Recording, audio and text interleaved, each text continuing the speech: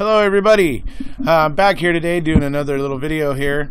Uh, I wanted to talk about the difference between, you know, uh, conscientious and ethical prosecutors uh, as opposed to less than ethical or, um, you know, proper prosecutors. So that's what this is about today. This uh, the things I'm going to put here for you today are from a YouTube video featuring uh, Steve Drizin and Laura Nirider, um, but also featuring the person I'm going to show you, the prosecutor Robert Milan. I think this guy is absolutely stellar. I just think this guy is great. He is a prosecutor who seriously, seriously disdains chasing prosecutions for their own sake, and that he and he thinks that if the prosecution got it wrong, then they need to be the biggest one out. They need to be the first one out there, and they need to be the, the most proactive one, trying to make it right. And and I think he's right, and he has actually taken a lot of steps to do just that. And I just think he's absolutely stellar. And as far as Brad Schimel goes, you know, Brad Schimel should really, really take a look at this guy, and um, you know maybe take a page out of his book because like I said, this guy is a class act, and I'm wait till you hear the things he's got to say right now. Mm-hmm. And I, I think really, seriously, Brad Schimel and and his and his little buddy Ken the Prize Kratz could really learn a lot from this guy. Anyways, I'm gonna play those clips for you now. Here they come. So one of the trends that's happening across the country now are these conviction integrity units that you're finding in prosecutor offices. So independent uh, units that are dedicated to reviewing uh, allegations of cases of wrongful convictions. Uh, does this suggest that prosecutors have a proactive role in addressing wrongful convictions? All right, Mr. Milan. Uh, you know, if, you, prosecutors are the, let me just back up. You know, when it comes to taking somebody's freedom, and this is what every prosecutor should think about. When you take somebody's freedom, it's not like horseshoes. It's close doesn't cut it. You better get it right. And when a prosecutor's office locks somebody up, uh, they better use the same sense of urgency to fix it if they've locked up the wrong person. And that's why these conviction integrity units or DNA review units, whatever you want to call them, are so important. Um, every uh, major prosecutor's office in this country should, should have that unit that goes back and looks at these cases.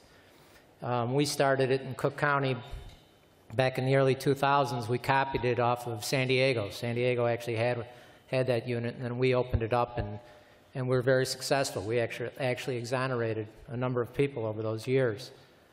Um, but there's another important component of this, and Wisconsin should really start to get it, and that is when you're a prosecutor and a potential wrongful conviction is brought to you, the adversarial system should end.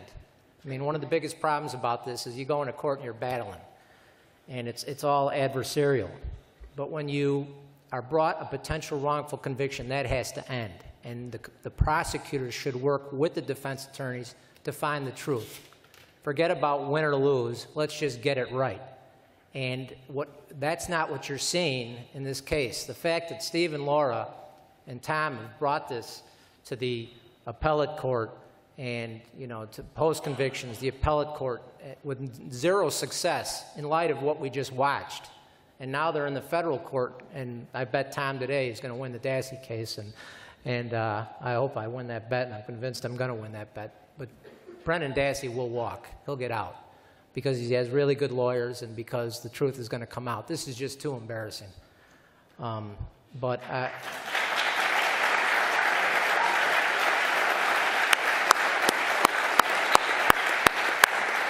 but I, I, hope that uh, Wisconsin wakes up and they get, in, in regards to wrongful convictions, uh, the adversarial stuff ends and they work shoulder to shoulder with the defense bar. Now we're looking at the definition of Kratzy here, which is the obvi- obviously the opposite of the way do- that uh, Robert Milan operates. But I'm gonna go ahead and play a couple more clips of Robert Milan here that I have shared before. but they're just. I mean, this guy is so on point. I just this guy is absolutely great. I totally admire this guy. So I'm gonna play those for you now. Mr. Marley, uh, from the prosecutor's perspective, does the lack of corroboration in Brendan's confession in the form of evidence or otherwise give you pause or concern? Yeah, from a prosecutor's perspective, you know, Dr. Kavanaugh and, and, and Laura and others can talk about, you know, the, the child's psychological issues and, and the demeanor, as Laura pointed out, and those things that, that others, look at. But, but from a prosecutor, the way I looked at a case was corroboration. And to me, and I've taught this over and over again, but a confession is absolutely worthless unless you can corroborate it. I'll say it again. A confession is absolutely worthless unless it can be corroborated. And if you look at the Brendan Dassey case, there is zero corroboration to back up that very, very weak confession he gave. The evidence that would have been left at that scene could not have been cleaned up by the, the sharpest individual, let alone Avery and Dassey. There is no way they could have cleaned up all that blood. There is no way that there wouldn't have been marks left from shackles on the bed and, and everything else. There's no way that, that that young woman's hair wouldn't have been found in that trailer or semen on the sheets or the bedding.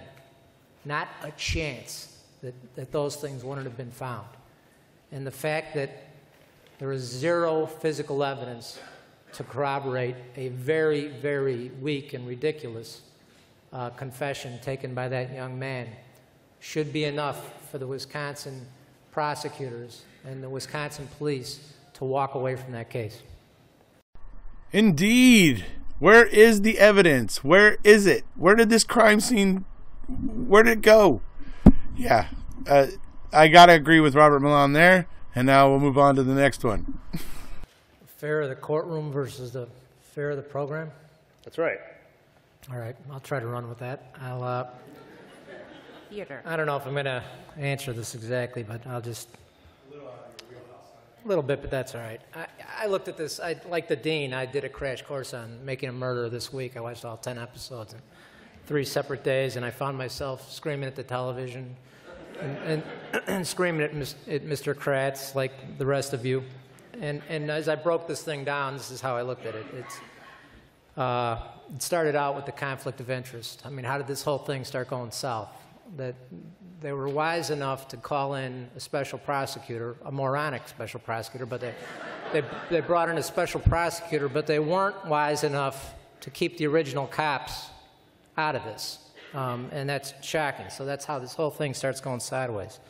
Followed by Kratz's press conference regarding Mr. Dassey's confession, which was outrageous. Followed by the fact that Kratz commits a huge discovery violation by questioning Bobby Dassey during the trial about a, a statement that the defense attorney's never heard about before, um, followed by the defense attorney for Brendan Kachinsky absolutely selling him out with the investigator, following, followed by a series of rulings by the judge that were outrageous. One, no gag order. I mean, why prosecutors and defense attorneys are stepping up to cameras after every day of trial is beyond me. Um, and then followed by what I already mentioned, which was zero corroboration to substantiate the confession. This was more than a.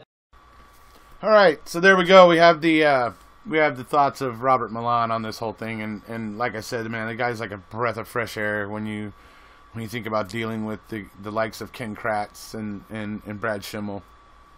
Yeah.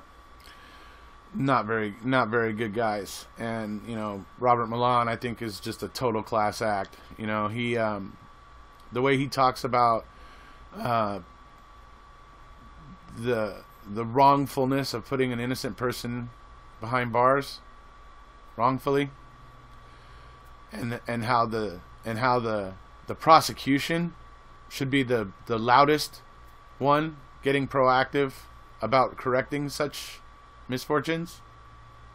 Classy guy, man. He's a very classy guy. I like him a lot. such the opposite of the way that Ken Kratz and Brad Schimel operate. You know, the definition of Kratzy is is for a reason because you know the dude is just delusional, you know. Uh, and I honestly don't see where his Brad Schimel is really going to be much different. I think they're just peas in a pod. So, uh, what I want to do is I want to just suggest to everybody, please watch the entirety of this uh, video that I'm sharing pieces of it with you here.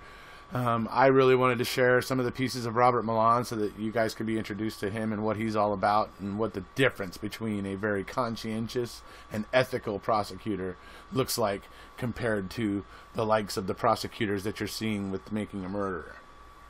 So um, I just wanted to share that with you guys. Also, the video features Steve Drizin and Laura Nirider very much. Um, obviously, those are Brendan's lawyers, so if you have an interest in seeing the type of things they have to say, please tune in for it. Check it out. Um, I'm going to obviously leave the link down in the information down below there, so just go ahead and go down there and you can click. And now, I got to say, it is a long video, so maybe you'll pace yourself, watch it in segments or something. Um, you know, but I, I love to just sit down and watch it all the way through on Sunday morning or something like that. Personally, that's just me. Uh, I just like to watch it all the way through and just get all that information all at once. But hey, I just if however you guys choose to, to check it out and, and, and get some information from it, you go.